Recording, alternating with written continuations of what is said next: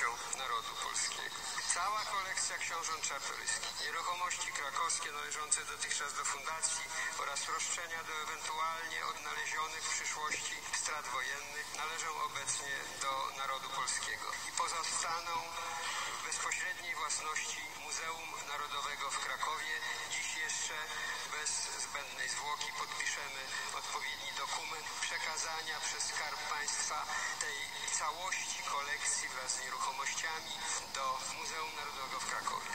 To nie jest zwykła kolekcja, a gwiazdozbiór dzieł sztuki, podkreślił wicepremier, minister finansów i rozwoju Mateusz Morawiecki.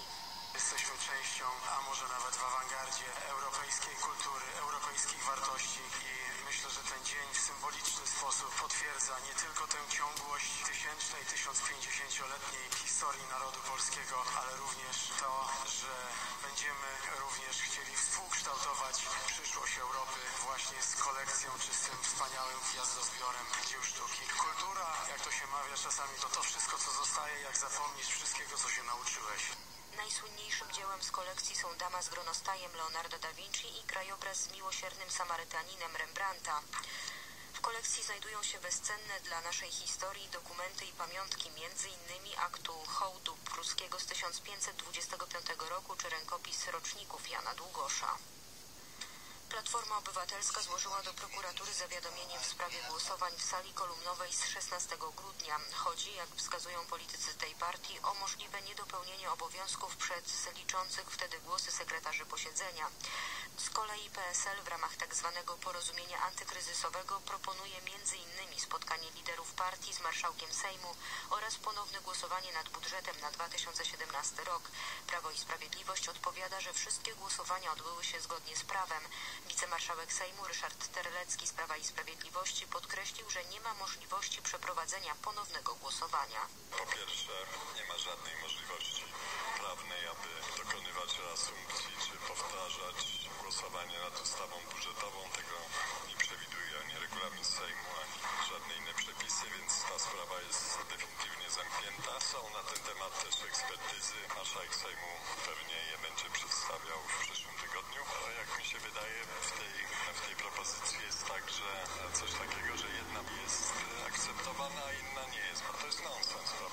to samo głosowanie co do jednej ustawy zgodne z przepisami, co do innej nie. Obie są wszystkie głosowania, które odbyły są zgodne.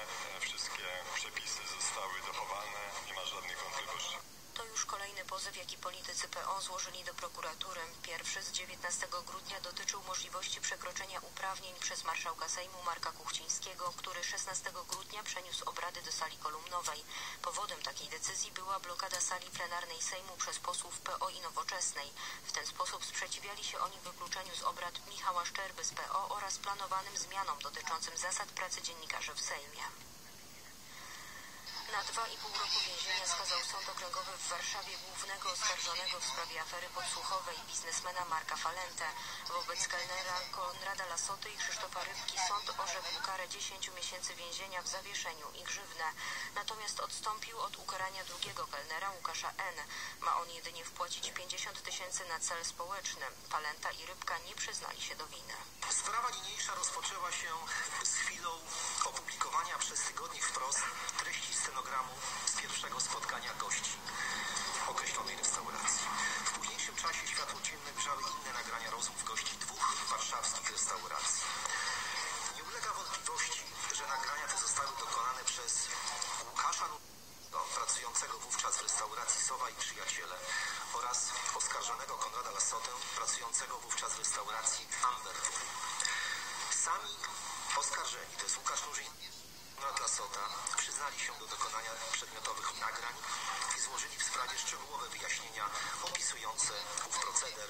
Od lipca 2013 roku do czerwca 2014 roku w warszawskich restauracjach nagrane zostały osoby z kręgów polityki, biznesu oraz funkcjonariuszy publicznych.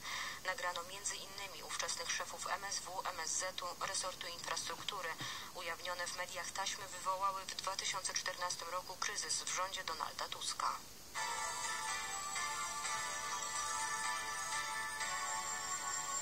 Od czwartku wieczorem ma zacząć obowiązywać zawieszenie broni w całej Syrii między siłami reżimu prezydenta Bashara el-Assada a oddziałami zbrojnej opozycji. Rozejm nie obejmuje grup określanych przez ONZ jako terrorystyczne. O podpisaniu porozumienia poinformował prezydent Rosji Władimir Putin. Turcja i Rosja mają być gwarantami przestrzegania rozejmu. Ponadto obie strony konfliktu syryjskiego zobowiązały się do rozpoczęcia negocjacji pokojowych. Zawieszenie broni w całej Syrii powinno się przyczynić do postępu wewnątrz syryjskich inkluzywnych negocjacji, które mają się rozpocząć 8 lutego 2017 roku pod auspicjami ONZ, głosi komunikat rzecznika organizacji. Podpisanie porozumienia to raczej pewien manewr dyplomatyczny, a nie dążenie do trwałego pokoju, ocenia doktor habilitowany Przemysław Żurawski-Welgrajewski, politolog. Jest to raczej próba podzielenia zbrojnej opozycji przeciwko Asadowi i bicia jej częściami, tak aby na niektórych fragmentach frontu mieć pokój, a na innych móc się skoncentrować i działać. Tak bym to odbierał. Zatem z całą pewnością nie jest to koniec wojny, jest to pewien manewr dyplomatyczny, który zmierza do uzyskania korzyści wojskowych na wybranych kierunkach. Po ich skonsumowaniu należy oczekiwać, że operacje przeciwko tym, z którymi teraz zawiera się rozejm, zostaną uzbawione. Więc jest to fragment strategii wojennej raczej niż dążenie do trwałego pokoju. Moim zdaniem zresztą Rosja nie jest zainteresowana w trwałym pokoju w Syrii. Rosyjski prezydent Władimir Putin poinformował także o planach zmniejszenia rosyjskiej obecności wojskowej w Syrii. Rosjanie wspierają tam militarnie i politycznie reżim prezydenta Bashara el-Assada. Putin stwierdził, że będzie kontynuował walkę z międzynarodowym terroryzmem. Stany Zjednoczone wydalają 35 rosyjskich dyplomatów w ramach sankcji przeciwko Rosji. Ma to związek z ingerowaniem w amerykańskie wybory prezydenckie, poinformował New York Times. Reuters podał, że chodzi o dyplomatów z Waszyngtonu i San Francisco. Dyplomaci dostali 72 godziny na opuszczenie terytorium Stanów Zjednoczonych. Jak poinformowano, kroki te podjęto w odpowiedzi na działania uznane za niezgodne z praktyką dyplomatyczną. I tą informacją zakończyliśmy wiadomości w Radiu Maryja.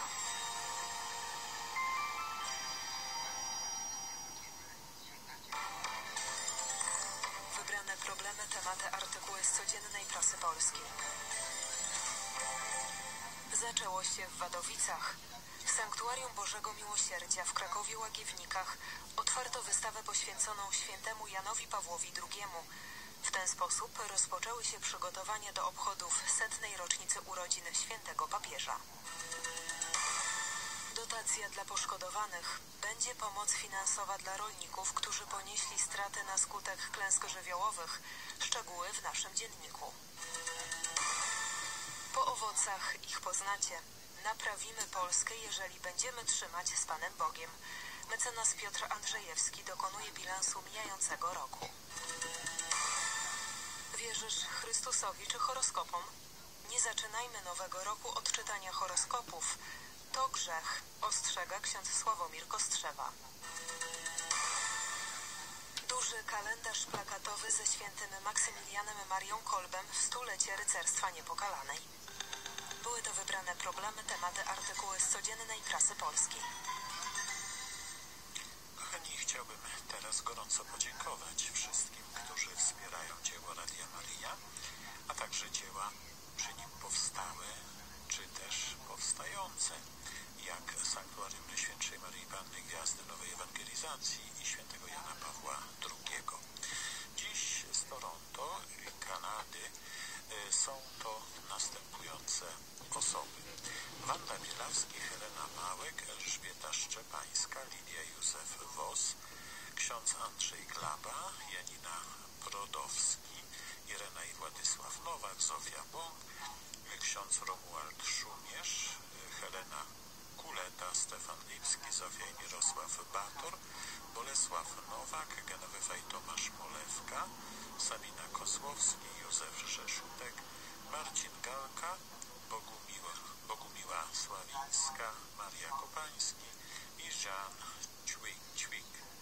Natomiast ze Stanów Zjednoczonych dzisiaj są to ofiarodawcy z Kalifornii, a są to następujący Państwo Magdalena Jandrzej, Gwizdała, Mary Jawień, Jolanta i Jacek Głys, Helena i Waldemar Głodek, San Stanislaus Benevolent Society i Walenty Bukowski, Anna i Jacek Marusarz, to już Colorado, John Cieślewicz, Grażyna i Marek Rakoński. I z Connecticut Krystyna Górecka, Regina Zajączkowska, Janina Klecha, a także Małgorzata i Andrzej Klukowscy, Andrzej Róża-Czopik, Urszula Napierkowski, Maria i Jerzy Strzępek, Anna Matuk, Irena Zawadzka, y, Władysława Harmut i syn Stanisław. Bóg zapłać za Państwa życzliwość, dobroć, za zrozumienie, że nasze media, Radio Maryja i y, dzieła przy nim wyrosłe będą tak długo obecne w eterze, jak długo będziemy je wspierać. I dla wszystkich wymienionych i nie tylko wszystkich, wspierają dzieło Radia Maryja, ten oto upominek muzyczny, nasza dedykacja, śpiewają skaldowie.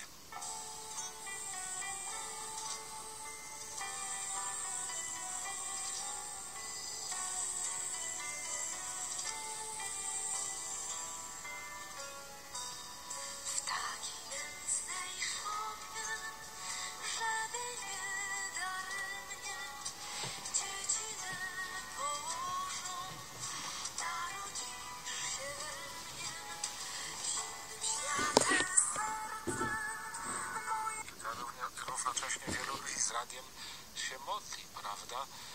Wielu y, ludzi dzięki Radiu Maryja, oglądając telewizję Trwam, słuchając Radia Maryja wie, co się w Polsce dzieje. Bardzo często y, słuchają i mówili to, że już teraz słuchają tylko Radia Maryja, bo te wiadomości, które tam są, są prawdziwe, więc myślę, że to, że jest i dużo modlitwy w Radiu Maria, ale również to, że rozmawiamy na tematy dotyczące naszej ojczyzny Polski, jest to dla ludzi bardzo interesujące i bardzo chętnie y, ludzie tego słuchają. Ojcze, przed nami kolejne spotkania. Y, Już za tydzień, y, trochę więcej jak tydzień, 7 i 8 właśnie tutaj w Chicago, ale także w New Britain, w Connecticut.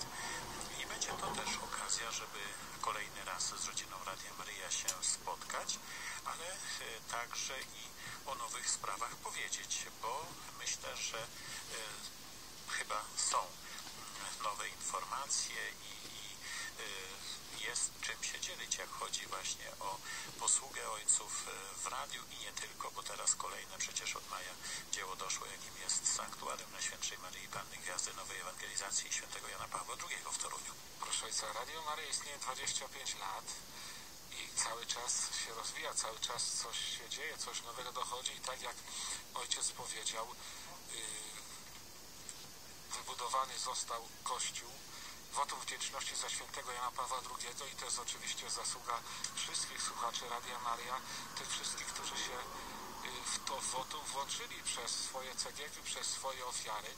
I chciałem tutaj powiedzieć, że bardzo się cieszymy z tego, że ten Kościół jest Kościołem żyjącym. To sanktuarium świętego Jana Pawła II jest sanktuarium, do którego każdego dnia przybywają ludzie. Teraz wiadomo, że jest zima w Polsce, nie najlepsze warunki do pielgrzymowania, do podróżowania, ale y, bodajże do października czy do listopada było ponad 80 tysięcy ludzi, jeżeli chodzi o grupy zgłoszone, pielgrzymki. Ale jeszcze wielu ludzi przyjeżdża indywidualnie, y, tak samo w każdą niedzielę na mszach świętych, zwłaszcza na mszy świętej, która jest o godzinie 12 naszego czasu, jest pełen kościół. Przyjeżdżają ludzie z różnych parafii Torunia i spoza parafii, spoza Torunia, y, ponieważ mówią, że ten kościół jest y, bardzo do, nastraja do modlitwy, chcą się tam modlić, więc z tego się też cieszymy, że ten Kościół jest żywy, że wspólnota ludzi wierzących w tym Kościele się gromadzi, co jest y, bardzo ważne, że nie wybudowaliśmy Kościół, żeby tylko stał, prawda? Ten Kościół jest żywy, ten Kościół żyje modlitwą ludzi, którzy tam się każdego dnia gromadzą. No i myślę, że warto też e, podkreślić, jeszcze raz przypomnieć, że jest w nim kaplica pamięci. Może nie wszyscy będą mogli mm, tam w najbliższym czy czasie dotrzeć, ale na internecie, na naszej stronie radiomaria.pl można wejść i zobaczyć właśnie, jak ta kaplica pamięci y, wygląda. Proszę ojca, to jak wygląda to jest jedno, prawda? Ale również ważne jest to, że w tej kaplicy pamięci na marmurowych tablicach, granitowych, czarnych tablicach są wypisane nazwiska Polaków, którzy zginęli, zostali zamordowani przez Niemców za pomoc, za ratowanie Żydów i tych nazwisk jest dzisiaj 1059, ale najprawdopodobniej jeszcze 200 będzie dopisanych, ponieważ jeszcze trwa opracowanie dokumentacji. Chciałem podkreślić, że wszystkie nazwiska, które tam są, są sprawdzone. Sprawdzone są dokumenty w ró- różnych archi- w archiwach, żeby po prostu nie było pomyłki, a więc jest 1059, jeszcze będzie około 200, może ponad 200 osób, a więc około 1300, tak powiedzmy, osób, Polaków, którzy zostali zamordowani przez, Żyd, przez Niemców za pomoc Żydom. Natomiast mamy również dokumentację, jeszcze nad nią pracujemy, w której jest około 40 tysięcy nazwisk Polaków, którzy ratowali Żydów, pomagali Żydom. Im się, że tak powiem, oni życie swoje ocalili, ale przypomnijmy, że w Polsce za pomoc Żydom groziła kara śmierci. A mimo to Polacy się narażali, ratowali, ukrywali, y, po prostu pomagali, a teraz mówi się, tu czytam, że Polacy to antysemici, mówi się tu i tam o polskich obozach koncentracyjnych, co jest nadużyciem, kłamstwem, bo te, te obozy były na terenie Polski, ale Polska wtedy była pod okupacją niemiecką. Polacy nie mieli wtedy nic do powiedzenia. Ojcze, co do tego rzekomego antysemityzmu, to myślę, że ten mit już powoli jest obalany, chociażby e, wystąpienie pani e, z ambasady, atasze kulturalnej ambasady Izraela w Polsce, która była na poświęceniu świątyni, ale także z tego, co słyszę, również są delegacje z narodu żydowskiego, różnych oficjeli, polityków, którzy tam przyjeżdżają, no chyba, żeby się modlić. No, nie wiem, czy się modlą. Tego nie jestem pewien, bo pewnie różni ci nadzieję, że się też modlą. Ale przede wszystkim y, jest wielu ludzi, którzy y, po prostu doceniają właśnie tych wszystkich Polaków, którzy z narażeniem życia okazywali im y, swoją życzliwość, pomagali, ratowali i tych ludzi w Polsce było bardzo, bardzo wiele. Przypomnijmy, że sprawiedliwi wśród narodów świata to właśnie są ci, którzy z narażeniem własnego życia y, pomagali Żydom w czasie II wojny światowej i tych Polaków zaangażowanych w różny sposób w to dzieło było bardzo, bardzo dużo i oczywiście, tak jak ojciec powiedział, przyjeżdżają niektórzy ludzie, nawet słyszałem jak y, ojciec dyrektor y, był zapraszany, czy jest zapraszany do tego, aby też odwiedził Ziemię Świętą. Oczywiście ojciec dyrektor jeden raz był pewnie w Ziemi Świętej, natomiast tutaj jest zapraszany w sposób bardzo oficjalny. Więc myślę, że to też coś mówi, że to też coś znaczy, bo jeszcze raz przypomnijmy, tylko w Polsce za pomoc Żydom groziła kara śmierci i niestety ta kara śmierci była wykonywana, ale w tej kaplicy y, chciałbym też powiedzieć, są relikwie świętych polskich męczenników. Ci wszyscy, którzy oddali życie ratując Żydów, to są męczennicy, bo przecież czymże się kierowali? Kierowali się miłością, życzliwością, prawda? Do drugiego człowieka, do bliźniego. Ale również tam między innymi są relikwie y, księdza Jerzego Popiełuszki, y, księdza Frelichowskiego innych męczenników, więc naprawdę y, ta kaplica jest miejscem szczególnym i też warto przypomnieć, wspomnieć tutaj o tym, że y, każdego dnia czy bez przerwy te 1059 nazwisk jest czytanych. W tej kaplicy y, słychać, te nazwiska są czytane i jeszcze również są takie stanowiska, prawda, komputerowe, gdzie tak zwane kioski takie w cudzysłowie, prawda, gdzie można sobie przeczytać biogram danego człowieka, który zginął ratując Żydów, dowiedzieć się, gdzie to było, kto to był, podstawowe informacje. Również y, można tam odsłuchać świadectwa ludzi żyjących, którzy wspominają, jak to było, kiedy to było, gdzie to było, więc to jest bardzo konkretna i szeroka dokumentacja, która właśnie w tej kaplicy pamięci jest, y, y, prawda, gromadzona i to można po prostu przeżyć, tego można dotknąć. No właśnie, czyli jeśli Państwo chcą zobaczyć więcej, to wejść na stronę radiomaria.pl, znaleźć e, ikonę Kaplica Pamięci i tam wszystko po kolei, krok po kroku, również w języku angielskim, co jest ważne, a więc można też polecić tę stronę, ten link e, naszym znajomym, przyjaciołom, e, którzy tutaj może żyją obok nas, a mają jeszcze błędne mniemanie i opinie o Polakach. Ale jeszcze chciałem, proszę ojca, powiedzieć, że ten kościół jeszcze nie jest skończony. On jest konsekrowany, poświęcony przez księdza kardynała Zechona, Zenona Grocholewskiego, ale jeszcze nie jest skończony. Jeszcze są pewne bardzo ważne y, elementy wystroju, wykończenia jeszcze są robione.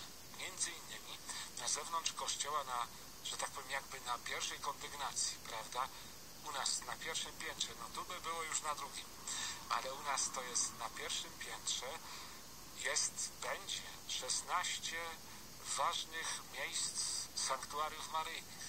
Między innymi jest już Matka Boża Częstochowska, Matka Boża Ostrobramska, Matka Boża Zelwowa, jest nieust, Matka Boża Nieustającej Pomocy, Matka Boża Katyńska, będzie Guadalupe, Matka Boża z Guadalupe, będą jeszcze inne sanktuaria y, światowe, różne sanktuaria z całego świata. Oczywiście jest też Matka Boża Tuchowska, ponieważ my, redemptoryści, wszyscy wychowywaliśmy się w Tuchowie pod płaszczem Matki Bożej Tuchowskiej. Już mniej więcej może połowę tych obrazów, czy tych wizerunków Matki Najświętszej jest, ale jeszcze połowa jest przed nami. I także będą bardzo piękne rzeźby na takich dużych połaciach, które, y, że tak powiem, takie duże ściany.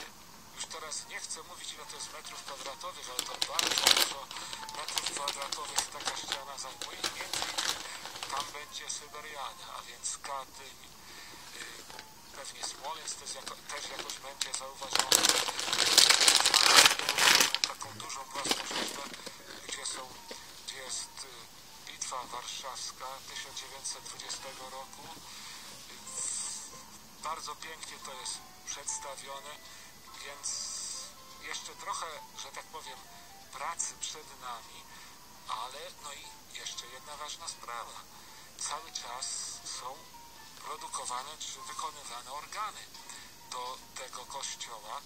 Jak Pan Bóg da, a myślę, że da, bo jest bardzo dobry, w przyszłym roku już na rocznicę konsekracji te nowe organy będą w nowym kościele zamontowane.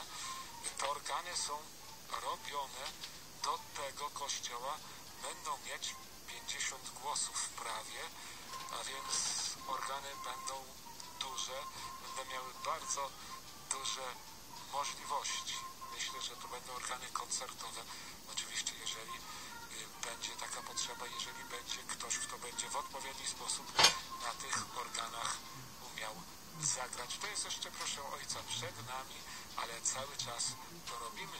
Niektórzy nie widzieli, ale również y, ten zrobiliśmy płot, ogrodzenie y, koło, wokół kościoła, ponieważ nie chcemy żeby koło kościoła jeżdżono na rowerze, na deskorolkach, czy jakichś tam rolkach. Plac wokół kościoła to jest miejsce święte i tam trzeba się zachować godnie, dlatego też ten, że tak powiem, plac został zagrodzony. Oczywiście wszyscy, którzy przyjeżdżają, którzy przychodzą mogą wejść na teren placu czy na teren kościoła, ponieważ codziennie jest kościół otwarty i codziennie ojciec Andrzej Laskosz, który jest kustoszem tego sanktuarium, zaprasza pielgrzymów. Ważne jest też, że w naszym kościele można się wyspowiadać. Zawsze również dzięki księdzu biskupowi Andrzejowi Suskiemu ten kościół był kościołem jubileuszowym, a więc w roku miłosierdzia od 18 maja do niedzieli Chrystusa Króla po prostu była tam brama miłosierdzia, gdzie pod zwykłymi warunkami można było zyskać odpust zupełny. Ojcze, długo by jeszcze można opowiadać, no ale nasz program ma tylko godzinę. Ale jeszcze mamy parę dni, więc proszę ojca, Oczywiście, że tak. myślę, że jeszcze y, porozmawiamy przed opłatkiem czy o po opłatku, bo przecież y, opłatek nie tylko jest y, w, prawda, w Chicago, ale również w Toronto, London, w New Britain, na Florydzie i to w dwóch miejscach. Nawet słyszałem, że to ma być, więc jeszcze wiele, wiele się będzie działo. Zatem na wszystkie spotkania opłatkowe bardzo serdecznie, gorąco zapraszamy. Pewnie jak znam ojca, to ojciec zaraz powie konkretnie gdzie i kiedy. Tak jest, a więc y, żeby nie być gołosłownym, zapraszamy 7 stycznia na południową stronę miasta, tutaj w Chicago, najpierw do Sanktuarium Świętego Jana Pawła II, Ojców Cystersów na górce Willow Springs na godzinę trzecią, msza święta. Y, Po mszy świętej około czwartej po południu w Royalty West Banquet w zameczku przy 8675 South Archer Willow Springs spotkanie. Tam pierwszy raz to spotkanie jest, ale piękna y, sala, także gorąco serdecznie zapraszamy. Karty wstępu pana Henryka Łopaciana, telefon 773 391 81 76, albo więcej informacji też w Centrali Radia Maria można uzyskać. Natomiast 8 stycznia msza święta o 10.30 w kościele świętego Stanisława, biskupa i męczennika, a o 4 po południu spotkanie w Lantry Manor przy 7730 North Milwaukee w Niles. I również 8 w New Britain w Connecticut w kościele Najświętszego Serca Pana Jezusa msza święta o 11.30 po mszy świętej spotkanie w sali szkolnej karty do nabycia, karty wstępu u pani Jadwigi i u pana Mariana. Także serdecznie zapraszamy. No a 14 y, stycznia, to jest e, sobota, takie spotkanie będzie y, w, w, w- London, tak jak ojciec wspomniał, o godzinie 17 msza święta i y, w kościele Matki Bożej Częstochowskiej po niej spotkanie w sali parafialnej. Także gorąco serdecznie zapraszamy, a 15 w Kanadzie, ale posłuchajmy komunikatu ojca Jacka. Serdecznie zapraszam słuchaczy Radia Maryja, widzów telewizji Trwam i całą Polonię na uroczysty bankiet opłatkowy z okazji 25-lecia Radia Maryja. Bankiet w niedzielę 15 stycznia 2017 roku. Uroczystą mszę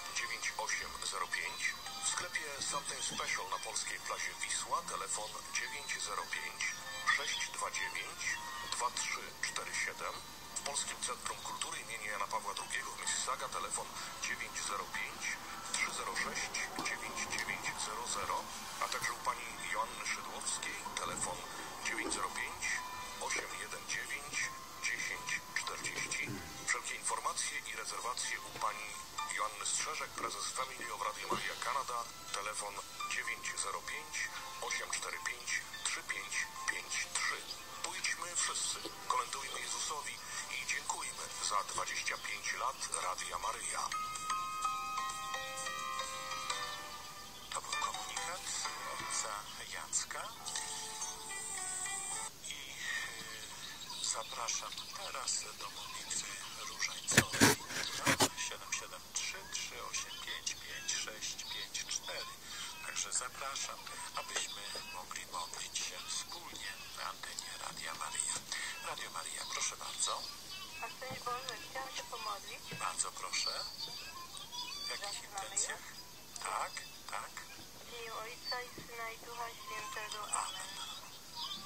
Chciałam y, mojej mamy, y, jutro jest rocznica śmierci, piąta rocznica za nią.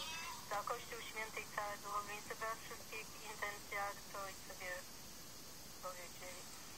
Ojcze nasz, któryś jest w niebie, święcie imię Twoje, przyjdź królestwo Twoje, bądź wola Twoja, jako w niebie, tak i na ziemi. Chleba naszego powszedniego daj nam dzisiaj i odpuść nam nasze winy, jako i my odpuszczamy naszym winowajcom i nie łudź nas na pokuszenie, ale nas zbaw ode złego. Amen. Zdrowaś Mario, łaski pełna Pan z Tobą, błogosławionaś Ty między niewiastami i błogosławion owoc żywota Twojego Jezus. Święta Maryjo, Matko Boża, módl się za nami grzesznymi, teraz i w godzinę śmierci naszej. Amen.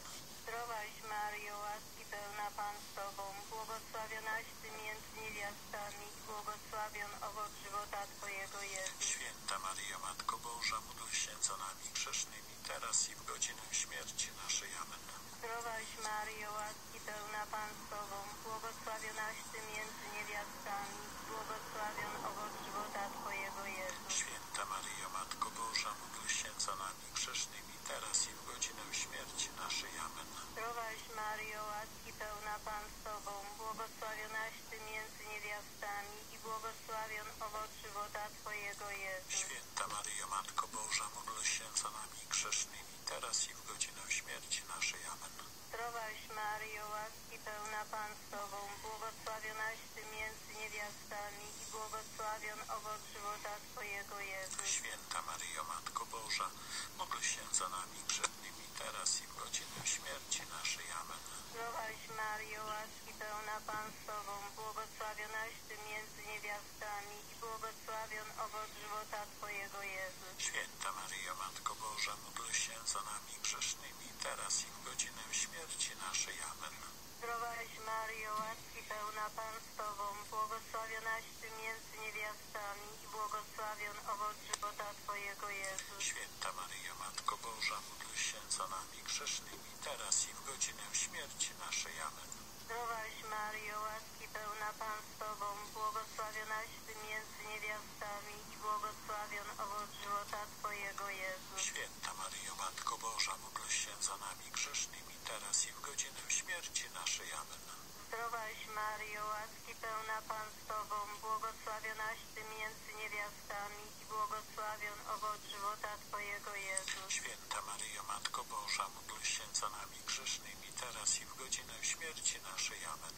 Zdrowaś Mario, łaski pełna Pan z Tobą, błogosławionaś Ty między niewiastami i błogosławion owoc żywota Twojego Jezus. Święta Maryjo, Matko Boża, módl się za nami grzesznymi, teraz i w godzinę śmierci naszej. Amen. Chwała Ojcu i Synowi i Duchowi Świętemu, jak było na początku, teraz, zawsze i na wieki wieków. Amen. O mój Jezu, przebacz nam nasze grzechy, zachowaj ognia piekielnego, zaprowadź wszystkie dusze do nieba i dopomóż szczególnie tym, którzy najbardziej potrzebują Twojego miłosierdzia.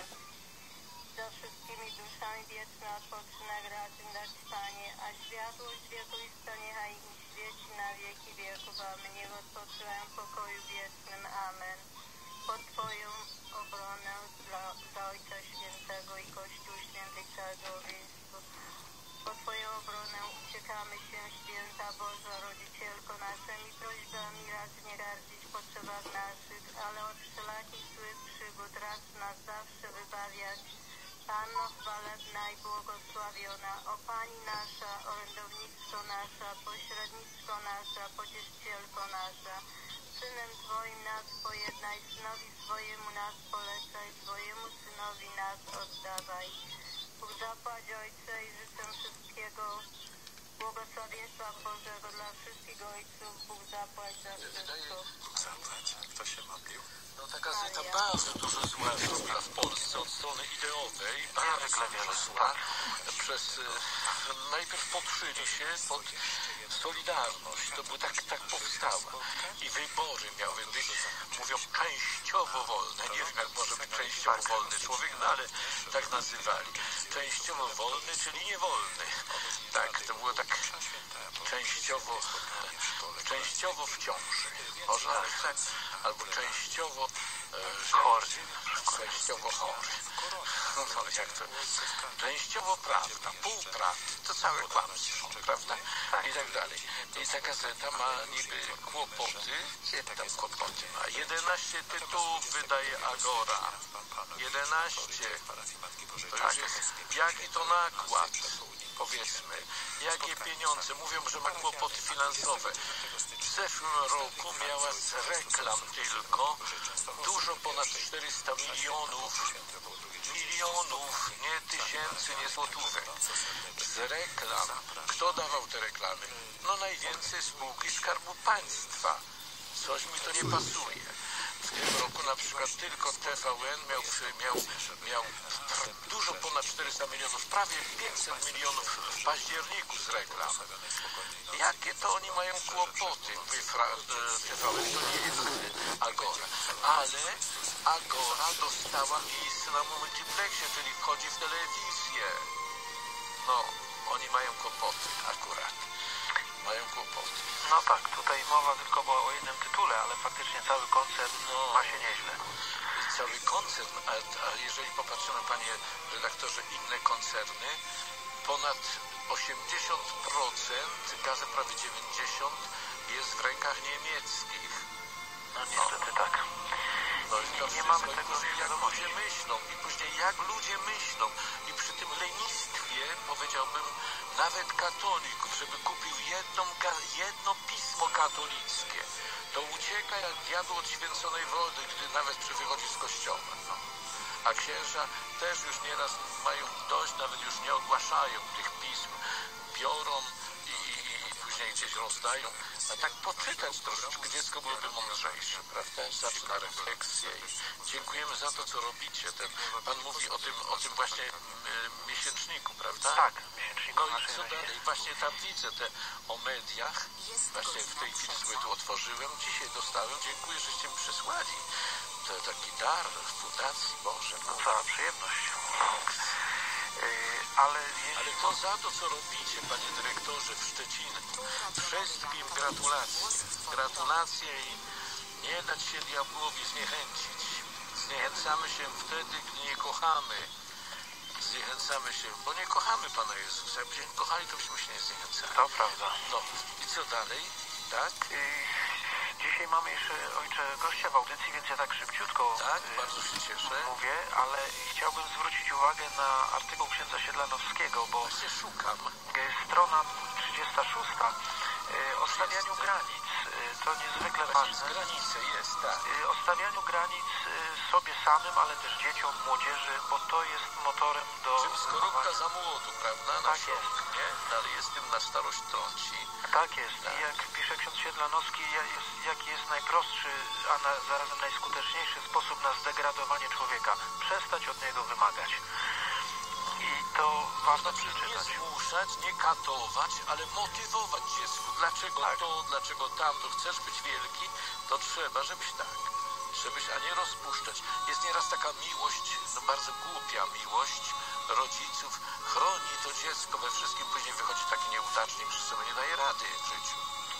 To prawda. Tak, Nadopiekuńczość. proszę.